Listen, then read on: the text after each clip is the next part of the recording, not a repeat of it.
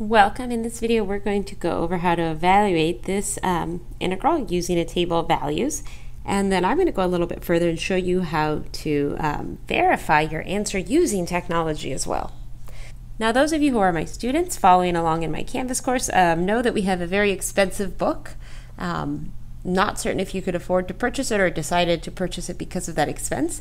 And we also have an alternative free book that is officially optional for the course.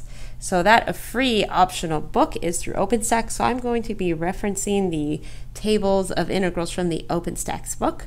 So if you're following along in my class, make sure you visit the OpenStax website and download um, your free copy of the book or view it online. Navigate to the table of contents and find the table of integrals. This one looks most like number 95. And now that that formula is over here and out of the way, let's rewrite this.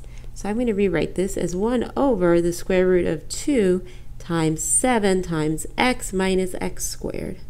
And this is, of course, dx.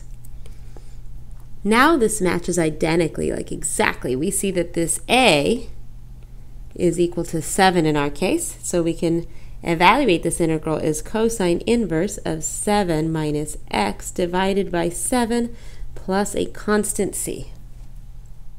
I hope this video was helpful.